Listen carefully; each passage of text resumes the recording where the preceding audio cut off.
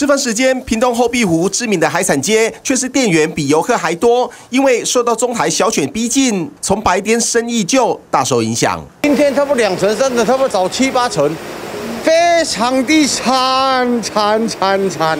但这还不是最惨的，由于附近渔船已经提前进港躲避风雨，加上台风过后也无法立即出海，因此接下来的国庆连假甚至会遇到没有充足渔获可卖的窘境。明天应该会掉个五成的游客，海鲜类的部分会叫不到嘛，甚至于船也没有办法出去，见一招拆一招了，不然能怎么办？可能就等这个台风过后吧，你才会我们才会把量用回来这样，不然现在也不用备那么多量。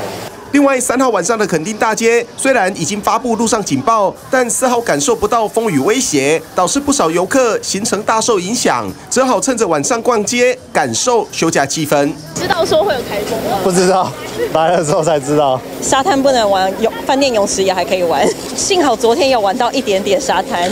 不少北部游客原本利用平常日南下旅游，没想到还是遇到台风搅局，只好考虑明天要提早北返。但跑不掉的在地摊商又遇到屏东县府已经公布恒春半岛六个乡镇四号停班客，也让做生意的热情变得意兴阑珊。没有看天气吧，应该是休息，应该晚一点应该有有风了啦，风跟雨这样子。明天不因为明天可能下雨，我们就不会来了。礼拜五如果没有下雨，可能就回来。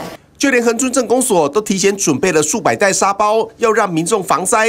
虽然三号晚上九点，中台小卷的中心位置还在鹅銮鼻东方三百九十公里，但已经让所有人提前笼罩着低气压。